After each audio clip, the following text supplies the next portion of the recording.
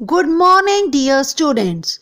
Today I am starting a new chapter, Halves and Quarters. In this chapter, we will study fractions.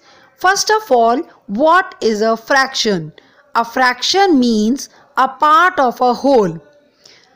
For example, on my birthday, I have ordered a pizza. This is a whole. It is denoted by 1. Now suppose if I have invited only one of my friend, then I will cut this pizza into two equal parts. Each part is called one half.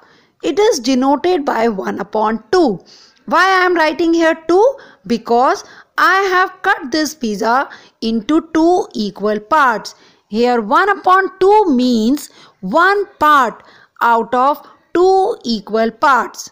Now, if I have invited two of my friends, then I will cut this pizza into three equal parts. Each part is called one third.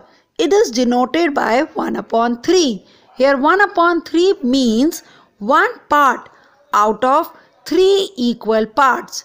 And suppose if I have invited three of my friends, then I will cut this pizza into four equal parts. Each part is called one fourth. It is denoted by 1 upon 4. Here 1 upon 4 means one part out of four equal parts.